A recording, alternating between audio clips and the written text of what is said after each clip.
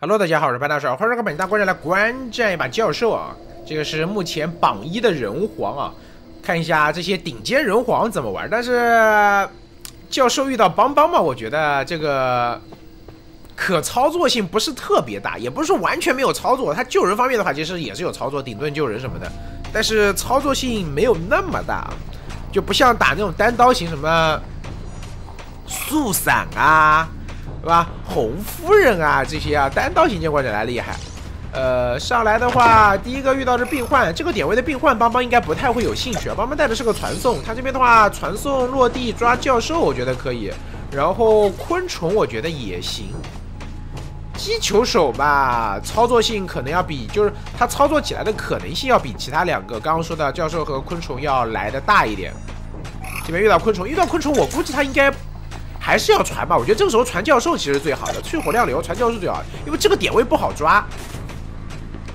传不传教授？我觉得要传了，因为教授是好抓的啊，教授是好抓的。那我们来看一下第一人皇能不能操作起来，我觉得是，就这边顶一个那个伤害，就是就差不多了。哎，还是可以操作的嘛，对不对？毕竟邦邦他也是个要能，他又不是说只有炸弹。解说没有会员，我本来觉得邦邦这边应该会先丢炸弹，因为当时那个位置没有太多交互点啊。但是这边还是压到了一手，那可以啊。这样的话怎么说呢？我觉得算是牵制起来。刚才那波如果说不出那一刀的话，我觉得这个教授差不多已经已经倒了，因为当时那个位置进交互点嘛，邦邦就去跟炸弹，我觉得伤害应该也能打上一炸。然后这就是个张狂邦邦，等到你后面没有盾的时候补一刀，一个遥控雷是不是带走了呢？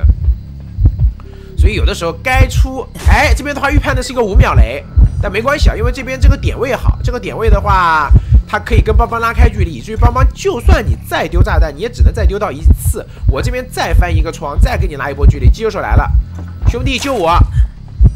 镜头给到，谁说这个教授牵制不起邦邦的？只要我操作够好，好了，两分半钟了。啊，两分半钟了，还是关键那一顶，看还是关键那一顶。这边的话，一根棒子先打开，爆发要不要起？嗯，这里没有太多的想法。有带摇吗？如果没带摇的话，这一根棒子我觉得不足以支撑它摇下来呀。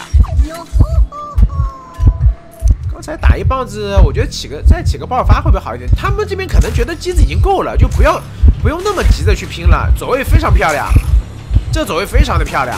躲掉了这边的一个，就只有一个小缝，吃一刀那很舒服啊！这边顺势把人救下来，你传送过来也来不及啊！直接捞捞下来以后，顶盾顶开，nice！哎呦，这些人真的感觉已经是时间卡的，嗯，没什么话，没什么话可说，这个就就纯粹就操作好了。当然，我觉得。另一方面呢，邦邦这边其实他如果要防这个盾，我觉得他也能防得到，他只是没有防。他觉得这个东西就是两边的一个心理博弈，跟砸板子差不多的。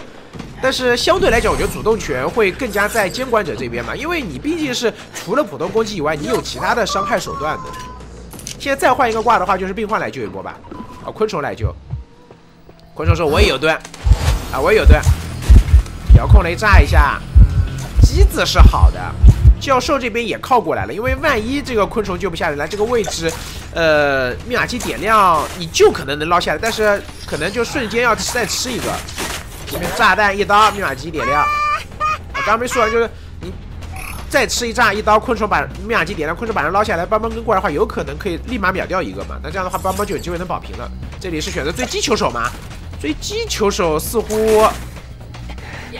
起爆发，强行翻，翻完以后等，哇，这个时间卡的。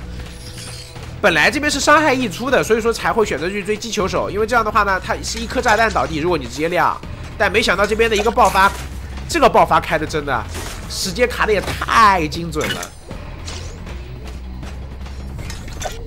啊，三跑已定啊，三跑已定，一棒子再打开，这里。似乎好像还有四跑的机会吗？击球手这边有一个棒连炸，但是棒子又打中了。有传送，有传送。这边的话先补雷，没能补到，没能补到，传送这边往回走，走地窖。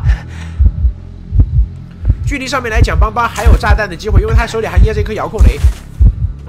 这个击球手这一局的话，真的秀啊，真的秀！再反绕过去，好，你没有了，只要躲掉炸弹，那就是四跑了，漂亮，非常非常漂亮。感谢大家收看，我们下期见，拜拜。